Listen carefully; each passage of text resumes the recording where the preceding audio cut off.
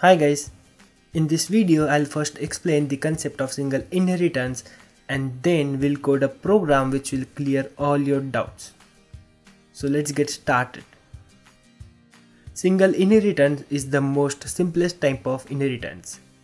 In single inheritance there are only two classes. Superclass whose features are inherited you can also call superclass or base class or parent class. And second class is called a subclass, that is which inherits other class. You can also call subclass as derived class or extended class or child class.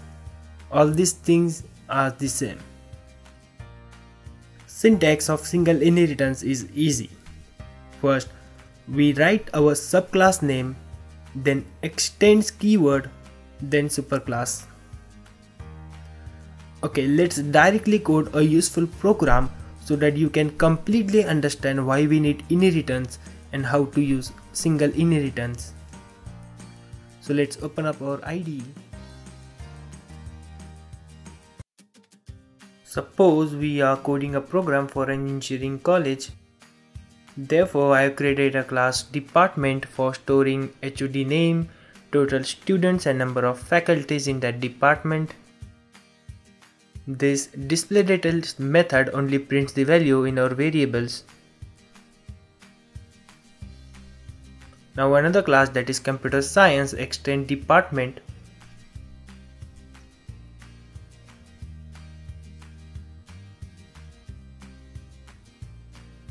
Now I have created a setInfo method to assign values to our variables in class department.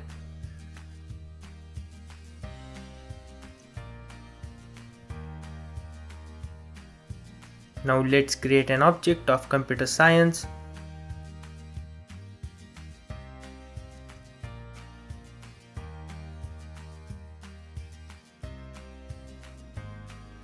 And I'm calling the setInfo method so bj dot set info.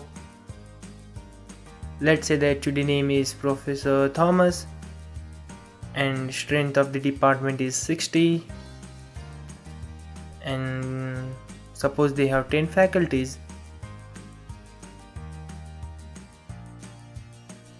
And I'm displaying the details of our department. Let's run our code and our department details are printed successfully.